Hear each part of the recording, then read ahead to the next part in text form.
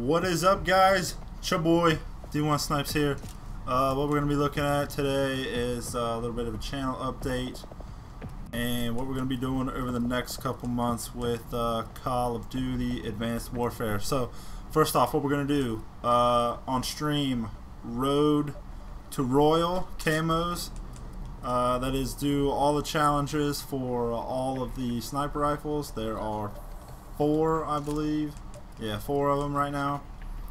Uh, these suck. I'm not gonna lie. 500 headshots. That's a shit ton. I've been playing with this gun for a couple hours. I haven't really been focusing on headshots, but I mean, they'll come. The more I use it, they'll come. I'm re not really worried about it. I think I can do it. The really hard one's gonna be like, uh, uh, what did I see? Double kills with like the single shot weapons. I don't know how the hell that's gonna work. Uh, might just have to get lucky 50 times. I don't know. I'm sure it's bound to happen before I get 500 fucking headshots. So we'll see how that goes. That's what's going to be going on on stream.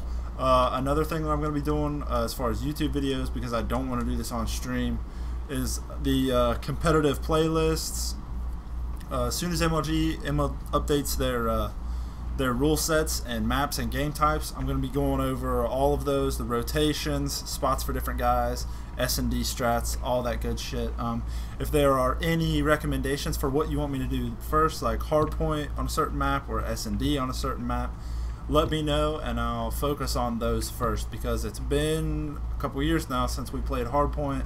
If you guys need a refresher on like how to play, um, rotations, uh, timing, all that good shit, uh, let me know. But if you, uh, the popular one on my last channel was uh, search and destroy strats, uh, so I may go back to that first. Uh, depends on supply and demand. If I get a couple tweets saying that S&D is the way to go, that's what we'll do.